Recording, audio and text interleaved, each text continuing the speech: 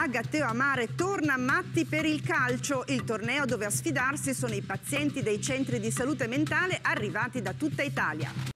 Si chiama Matti per il calcio ed è un torneo speciale perché coinvolge i centri di salute mentale da tutta Italia sul campo di Gatteo Amare. Filippo Vendemmiati pulito, senza falli, senza cattiveria. Perché l'importante è divertirsi, divertirsi e certo. giocare bene. Okay?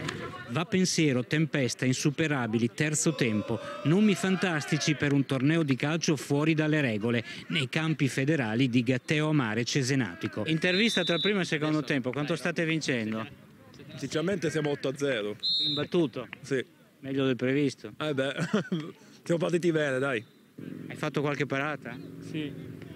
Vai, vai.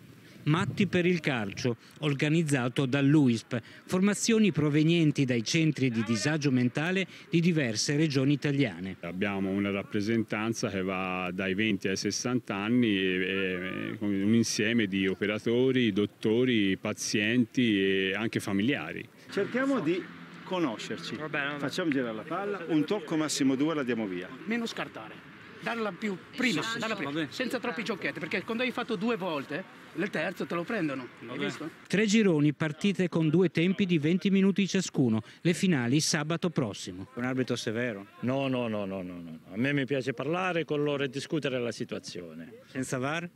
Senza VAR è meglio però. Fanno più errori col VAR. Chi si ispira come difensore centrale? A qualche modello?